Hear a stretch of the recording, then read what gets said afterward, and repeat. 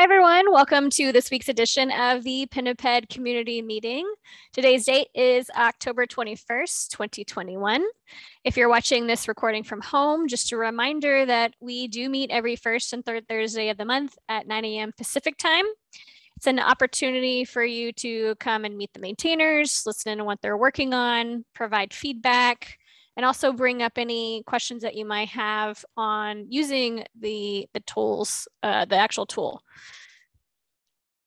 If uh, you do have something you wish to discuss with the team, you'll just add that down at the discussion topic section in the agenda here. If you're unable to join us for any of these meetings live, you can find us in the Kubernetes Slack workspace within the Pinniped channel. And if you aren't already a member of the Kubernetes Slack workspace, you'll just need to send a request for an invitation to gain access. You can also find us on Twitter at Project Pinniped. Whenever you're interacting with us uh, the community, um, whether it be GitHub or Twitter or Slack or in these meetings, we ask that you please read and abide by our code of conduct. Also, uh, when you attend these meetings, we would like to list out who is attending and keep those lines of communication open and see who might be using Pinniped so we can kind of get a better understanding of some use cases there. So just list out your name and any organization that you're representing, as well as uh, filling out this GitHub discussion, adding a comment here and how your organization is using Pinniped. You can put your logo on there. We will add it to our adopters page for some cross promotion. Yeah. And on to announcements. Uh, pretty light on announcements this week. Just a reminder, Pinniped is participating, participating in Hacktoberfest. And what Hacktoberfest is, is a month-long celebration helping others who might not be familiar with open source or familiar with doing any pull requests within GitHub, getting them more comfortable with contributing and getting started within open source. And the way that Pinniped is helping out is that we have our repo labeled as Hacktoberfest, showing that we are participating. And we have an issue here that has been labeled with Hacktoberfest. And you will, if you're wanting to participate, you can go in here and look to see how you can um, work on it and add your own pull request to, to this particular issue. And once you get four pull requests submitted throughout the month of October, you will be given a limited edition t-shirt and some stickers via um, DigitalOcean. Okay. On to status updates regarding the project roadmap. So I just put in here the one thing that we have going on for October, the improving security posture. Supervisor token refresh fails when the upstream refresh token no longer works for OIDC. Um, Anybody want to go over that particular item and where we are with that? Uh, yeah, so I think uh, I worked on a little earlier, but Ryan's mostly been working on uh, the OIDC part of things. I think uh,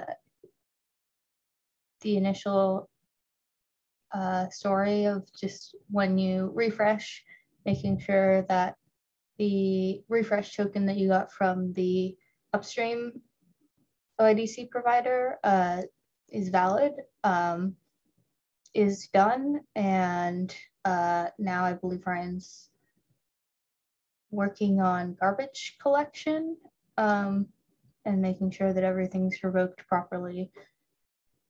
Um, so that's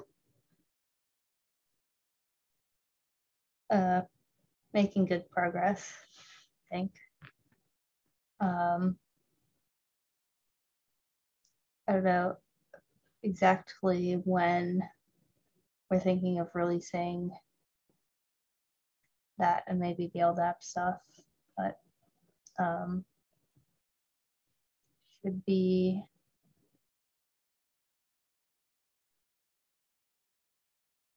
uh, if I had to guess, I'd say early November. okay. No worries.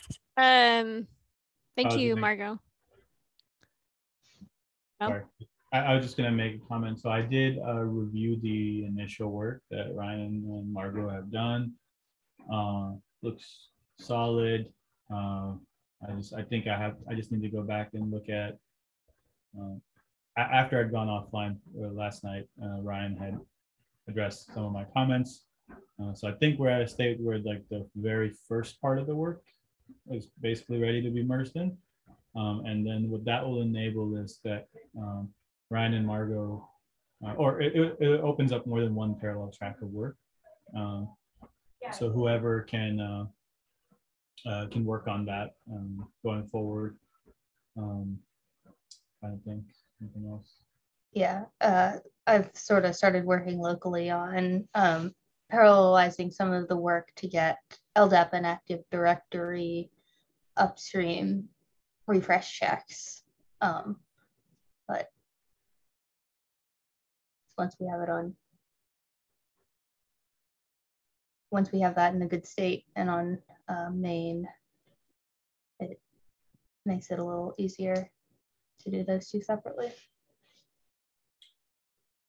Yeah, and we, we wanted to kind of get it into the state because uh, various folks on the team will be uh, on PTO coming up. So we want to we want to get into the state, get something merged in that uh, is still releasable. We're, we are not merging anything into main that we could not like make a release out of. It's just uh, it's you know, it's, a, it's an intermediate state that's still better than what's there today.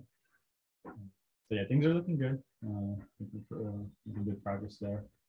Um, I, I don't know, Margot, if you've seen the Slack thread on the Pinniped Slack. I had. Oh, with with a uh, Scott talking about his scripts. Yeah. Right? So to give anyone watching the recording context, um, uh, I I just happen to think of um, one concern with the Active Directory work that's coming up is our, our CI system for Active Directory is one global singleton.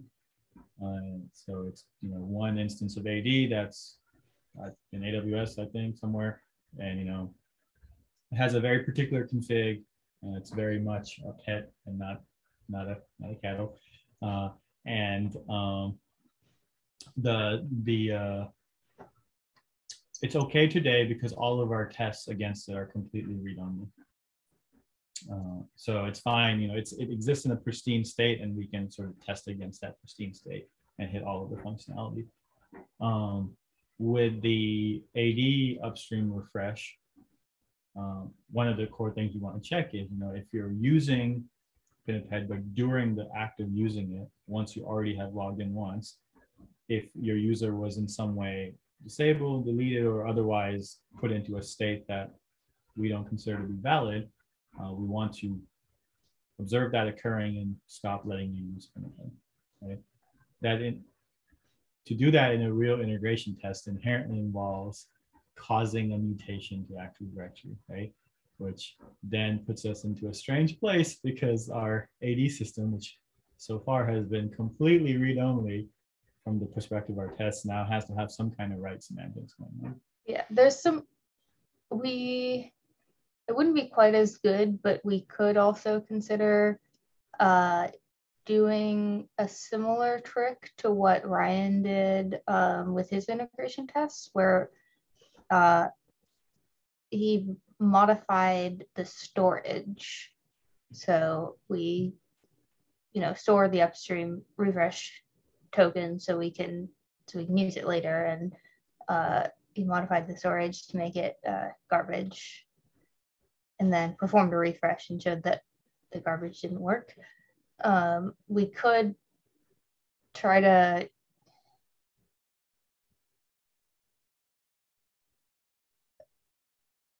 it's a little weird, but we could we could try to, you know, make the storage point at a deactivated user.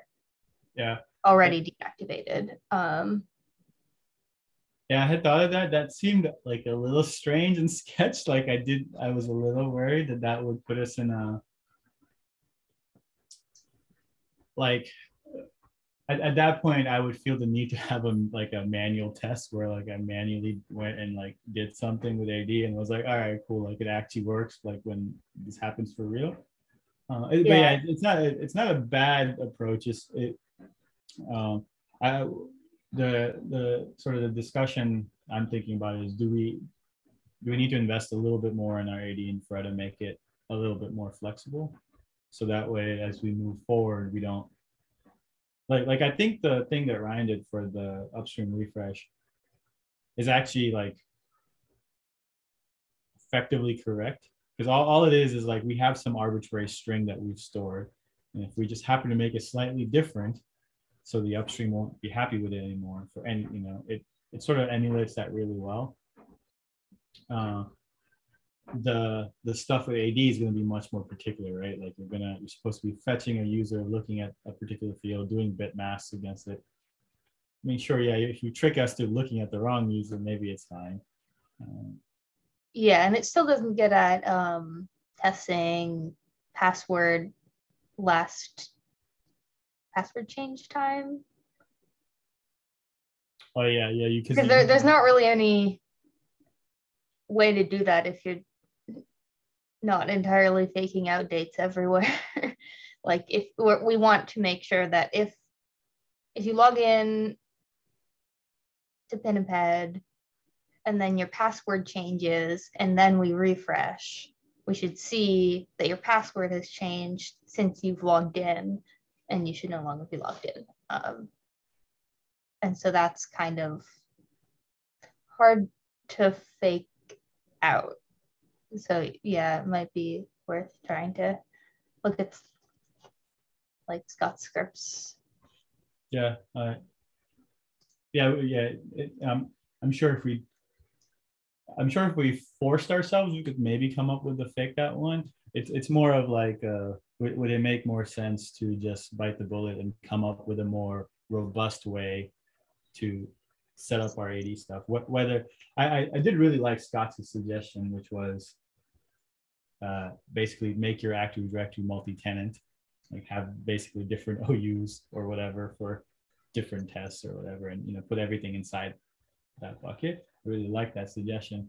It's just that we we we don't have the code to do that today. Um, yeah, I'm sure there's some way to do it with PowerShell or something. I'm, I'm also wondering if there's some like higher order approach where maybe we could somehow like somehow we could maybe get like basically kind of like global catalog if we could get something like from aws where it was actually just a series of active directories and we could kind of get particular ones i don't i don't know maybe that doesn't make sense but it's it's the same sort of idea just maybe at a more active directory global level. Um, but yeah, I, I, think this is all you know, good stuff to think about because um, the hope here is that um, you know if you're using us with AD that we behave like you would expect us to behave with AD. Um, but the the whole like OIDC stuff is just an implementation detail, right? To an end user, they just they just want the system to behave correctly.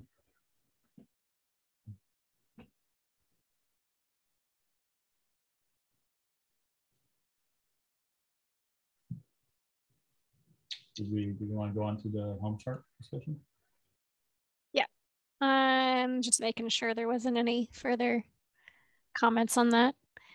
Uh, so I was curious as if there was any updates regarding that Helm chart discussion that we had in the last meeting, last community meeting, if we heard anything from Scott regarding his um, reaching out to Bitnami, or if there was any discussion you wanted to share with the community.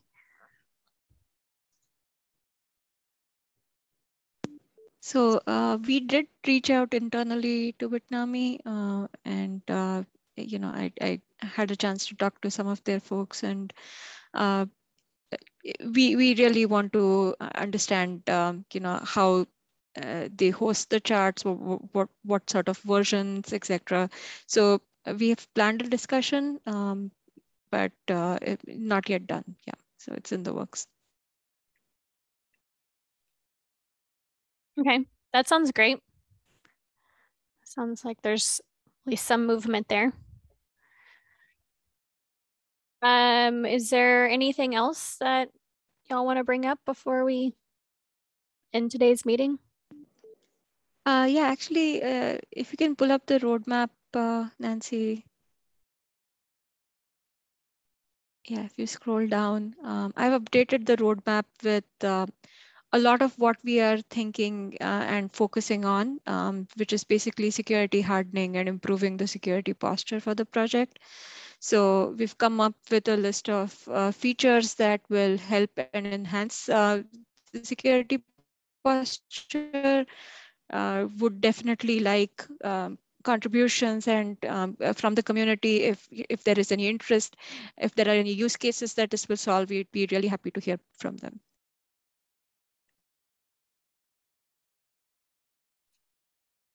okay great thanks anjali okay anything else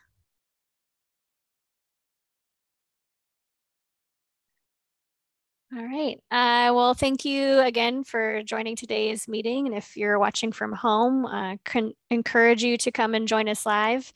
Again, we meet every first and third Thursday of the month at 9 a.m. Pacific time. So we hope to hear from you soon. Thank you. Yeah, thanks. Yeah.